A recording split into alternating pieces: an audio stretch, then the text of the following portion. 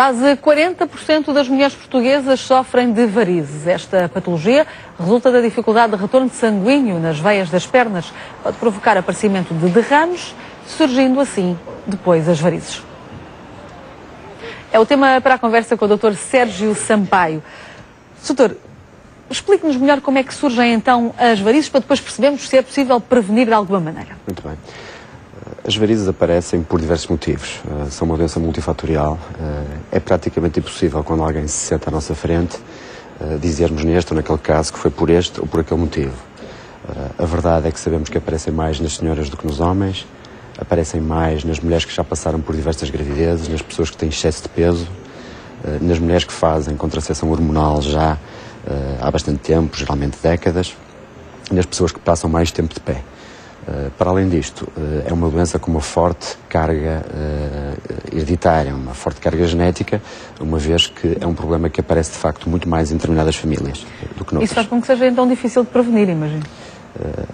de facto, talvez a maior parte dos fatores que estão relacionados com o aparecimento das varizes não seja prevenível por esse motivo.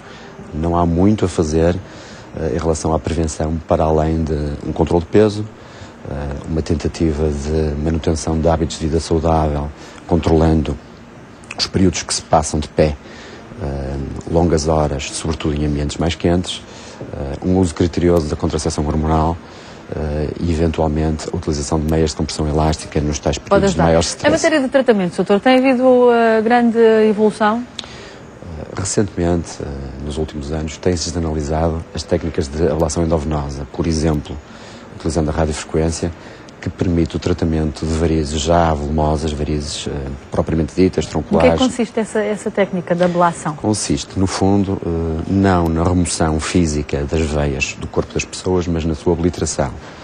Ou seja, não é retirada a veia? Não é retirada, a veia é puncionada, é cateterizada uh, e depois o cirurgião viaja por dentro da veia com um catéter que entrega energia à parede da veia, provocando uma desnaturação das suas paredes, uh, acabando a veia depois por ficar uh, reduzida a uma cicatriz fibrosa interior uh, virtualmente indetetável. É, é, definitivo esse tratamento?